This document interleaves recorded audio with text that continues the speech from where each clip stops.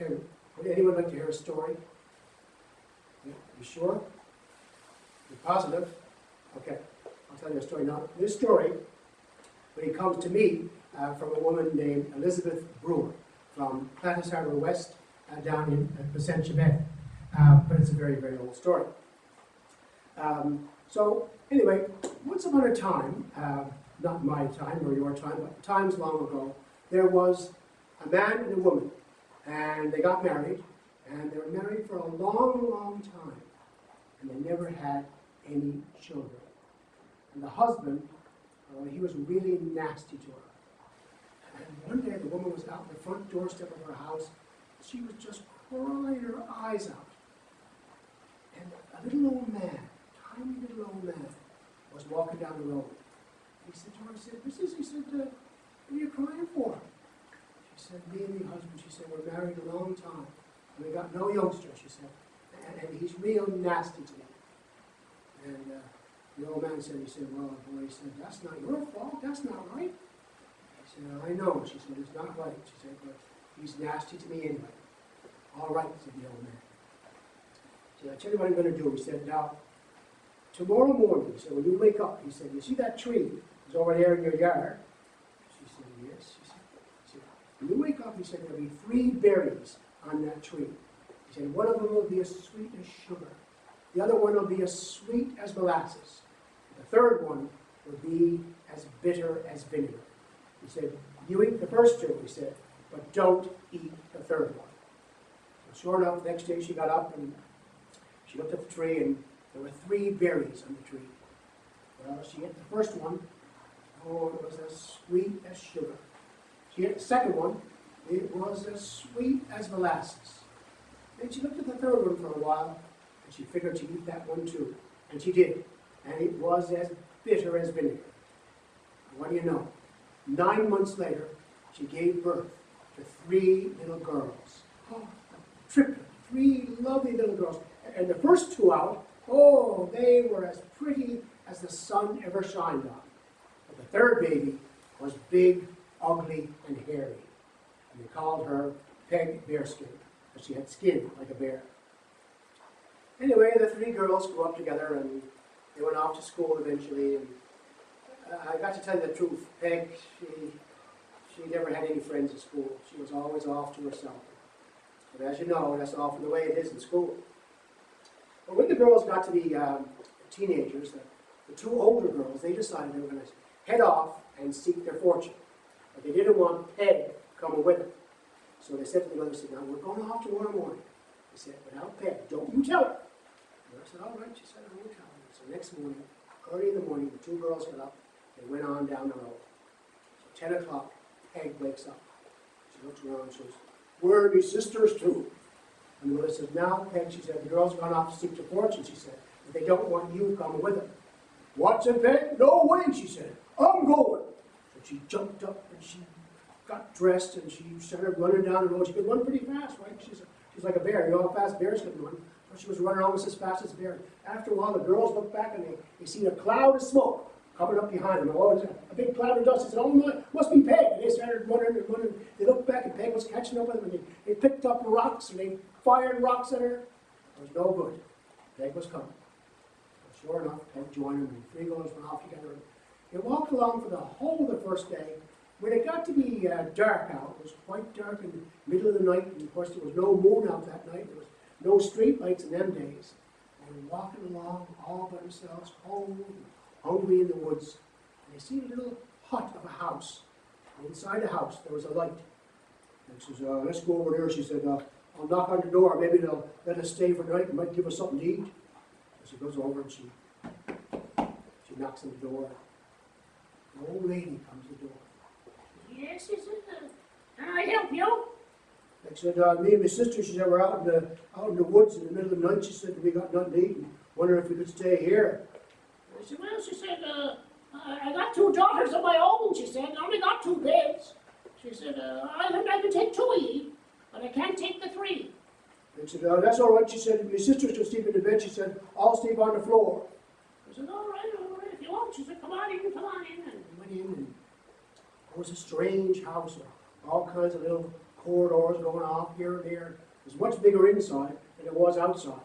And we sat down and, and the old lady gave me some supper and, and a thin roll and two daughters, or her two daughters were looking at, at Peg and her two sisters, and all, felt kind of strange there. And anyway, they all went to bed and uh, Peg's two sisters, they got in one bed, and the old lady's two daughters, they got in another bed. And they were just lying down in Peg, she was slept on the floor, of course, and after a while, the old lady come in and She said, oh my, she said, uh, it's sharp and cold in here. She said, you'll find us some cold. She said, I got some nightcaps, she said, to keep you warm. She said, I got two white nightcaps for your sister's heads. she went over and took the, and put the two white nightcaps on Peg's two sisters' heads. And then she left, and then Peg lay on the floor, and the girls fell asleep. Peg couldn't sleep, there was something on her mind. Something she didn't like about this house. She soon realized that the old woman was a witch. And she went downstairs, and when she went downstairs, she went into the dining room, and she found a, a decanter, a, a jug that could never be emptied. You put a drop of water in it, turn it upside down, and flow water forever. Put a drop of milk, drop of rum, drop of wine, the same thing. And then she went into the pantry, and in the pantry she found a, a magic lantern that could shine for half a mile of light. You didn't have to fill it, you didn't have to light it, just touch it. It shone for half a mile. So Peg went over and she touched it. It shone out through the window of the pantry, out into the barn. And out in the barn there was this beautiful, beautiful white horse with a silver bell on the end of every hair in its mane. If you could ring one of those bells, you could make one wish, and that one wish would come true, as long as you wish for either something too big or too small. But you had to ride the horse first. So Peg said, Oh my, she said, this is the house of a witch. I gotta get my sisters out of here. She started to climb up the stairs. When she went up the top of the stairs, she looked down and she seen the old witch coming down the corridor with a great big knife in her hand for to kill Peg's two sisters. So Peg rushed into the room and she took the two white nightcaps off her, her sisters' heads and she put them on the witch's daughters' heads. And the old witch come into the room. Oh, very dark. Well, well, well, to what the white. And she killed. Oh, she killed them. She killed them dead. And then she looked down and said, oh my God, she said, it's my daughters. Oh no, she said, I'm after killing my own daughters. And she said, no, she said, I'm going to kill the three of ye. Started running after Peg and her two sisters, and they started running. That old lady couldn't run fast. But Peg ran too fast, and the girls started following behind. So Peg turned around, she picked up the two girls in her arms, and she started running. The old lady ran and ran, and they ran and they ran and they ran the whole night. But just as dawn broke, the old lady got tired. She fell down asleep in a ditch by the side of the road. That was it. Now they were safe. Now, uh, it turned out that Peg and her two sisters were just outside this kingdom nearby, and they went in, they, they decided to settle down there. And uh, I think Peg got a job somewhere anyway, she was taking care of her sisters. And, and uh, there was a king in that kingdom, and uh, he had three sons. So one day, Peg decided she was going to go visit the king. She goes up to the castle and she knocks on the door. And the, uh, the guard comes out and says, Yes, he said, can I help you? She said, My name is Peg Bearskin. She said, I wants to see the king. And uh, the guard says, he said, Well, you just can't just go see the king like that. He says, You got to have an appointment. She said, You tell him Peg Bearskin is here, and, he, and she wants to see him. And the king said, uh, uh, the, the guard said, All right. He says, Well, no. He says, Your Majesty says, a woman outside, her name is Peg Bearskin, says she wants to see you. The king says, Oh, yeah. Well, That's an interesting name. He said, I haven't got much to do. He said, uh, he said uh, Send her in. So he sends Peg in, and Peg says, uh, Peg says, "My Highness," she said, "I was wondering, would you be interested in having your oldest son uh, marry my oldest sister?" He said, "Well," he said, "maybe I would." He said, uh, "What would you give me for that, Peg?" And Peg says, uh, "I'll give you," she said, uh, "a magic decanter, a jug." She said, "that could never be emptied."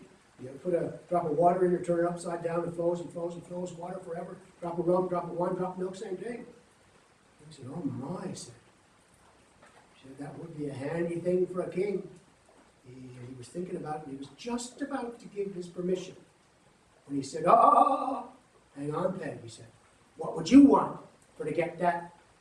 Peg says, All I want, she says, is a handful of pepper. A handful of pepper, the king. Oh, that's a pretty good deal. He calls to the kitchen, handful of pepper for, for Peg Bearskin. And now, now remember, Peg's hands were, were like baseball gloves, right? So she could hold a lot of pepper. So Peg took the handful of pepper, and she went back to the witch's house. She went into the witch's dining room, and she hid down behind the sideboard. And the witch's husband was there, and he was eating his supper. He had a great big leg of meat. Chewing away. When he finished, he ate the bone.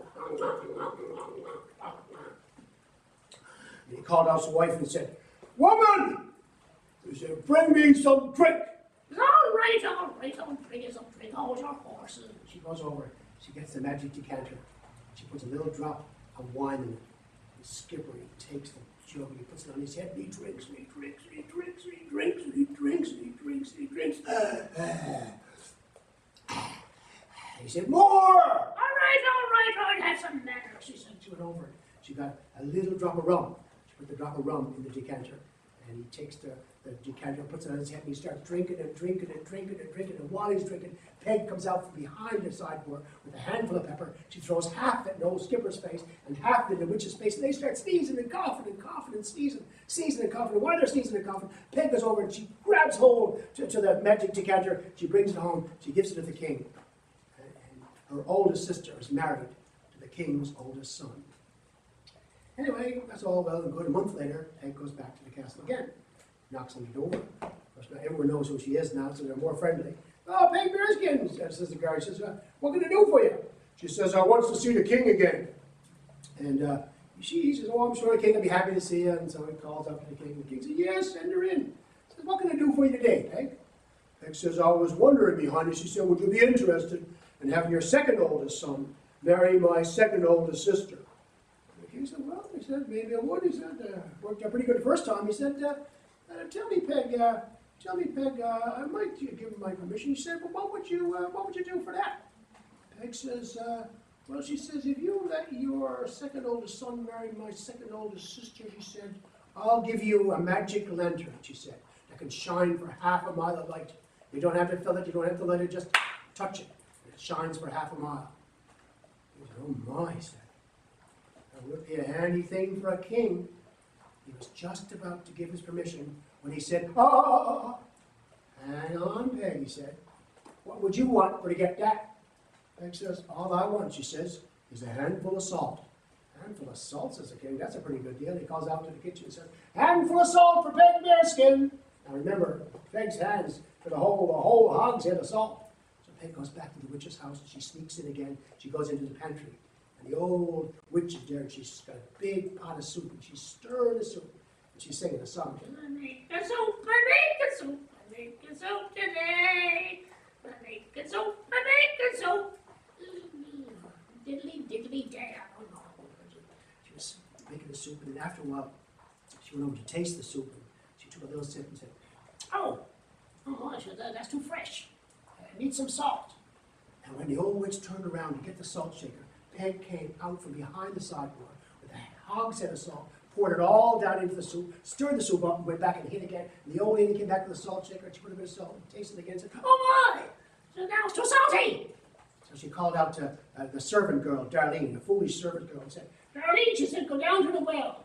She said, get me two buckets of cold water. I gotta put them into the soup. It's too salty. Uh, and you can take the magic lantern. This was the middle of the night. And so uh, the, the foolish servant girl, she took the magic lantern and she touched it, and of course it shone for half a mile of light. But what did she do? She hung it on a nail and she went out into the dark. But it was a mile to the well. And as soon as she got into the dark, she got lost. And Peg went over, grabbed hold of the lantern, brought it back, and gave it to the king. And so Peg's second oldest sister was married to the king's second oldest son. Now, I know you know what's going to happen next, don't you? Yeah, sure enough. Everyone did. Everyone was afraid what was going to happen next. So the king, he's uh, waiting for this to happen. One day, a month later, Peg comes to the door. And uh, the, the guard pretends he's not home. And Peg says, I know you're in there, she said. Open up, she said. It's Peg Bearskin, she said, or I'll break the door down. And the guard goes over up to her and says, What do you want? Peg says, I want to see the king.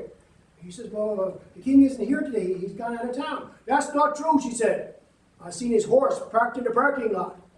All right, all right, says the. She goes into the king. She says, honey, she said, I was wondering if you'd be interested in having your youngest son marry me. Well, the king didn't like that idea one bit. And the young prince, you can see, he didn't like the idea very much either. And the king said, uh, boy, Peggy he said, I don't know. He said, uh, I don't think so. He said, uh, it worked out twice. He said, I'd be pushing me luck to try a third time. I think, I think I'll say no this time. All right, all right, says Peggy. She turns to leave.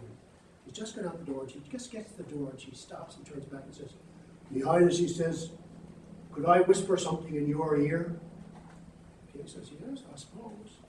So she goes over to him. She says, Your Highness, she says, if you let me marry your youngest son, she said, I'll get you a magic horse, a beautiful white horse with a silver bell on the end of every hair in its mane. And if you ring one of those bells, you can make one wish, and that one wish will come true as long as you wish for either something too big or too small. But you got to ride the horse first. He said, Oh my. I said, That would be a handy thing for a king.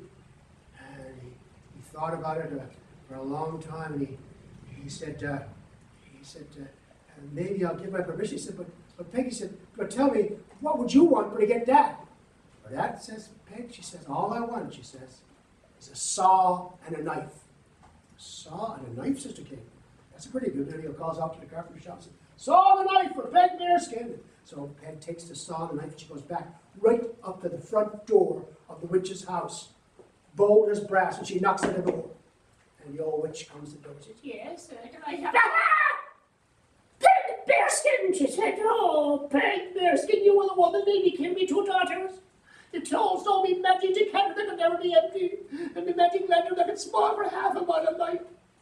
She said, Peg, if I did that to you, what would you do to me? Peg said, boy, she said, what I done was pretty bad. She said, uh, if you done that to me, she said, uh, I'd take you. She said, I'd stuff you down in a canvas bag.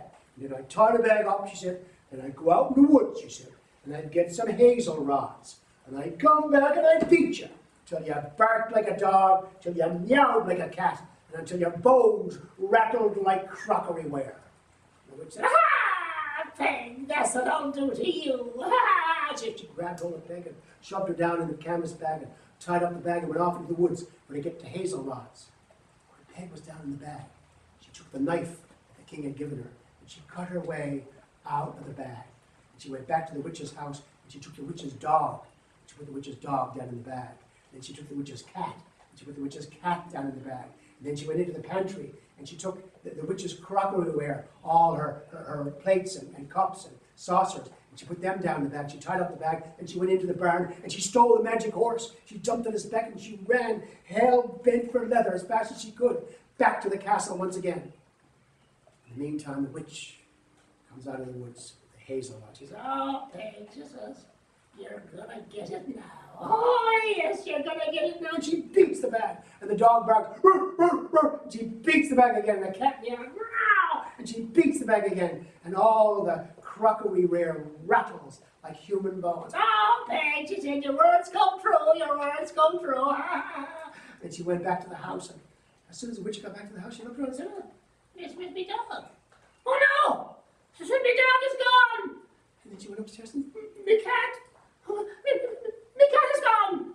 Then she went into the into the pantry and said, "Oh." No, my crockery wire. And then she looked out in the barn, and she realized that someone had taken her magic horse. She said, "No!" Oh, no, my horse is gone. She ran out in the barn. She had another horse, was almost as fast as the white horse. And she jumped on his back, and she rode hell bent for leather. But she was a much better rider than Peg was. And after a while, Peg looked up, and she could see the horse getting closer and closer and closer. And Peg was going as fast as she could. Now, there was a little wooden bridge over to the castle. Went over the bridge. She took out the saw that the king had given her, and she sawed the bridge almost all the way, with just a little tiny bit of wood left. And what do you know? When the old lady went over the bridge, the bridge gave way, and she went down into the water. And as soon as ever she was covered in water, she melted. And that's generally what happens to witches. Her last words were, Disintegrating.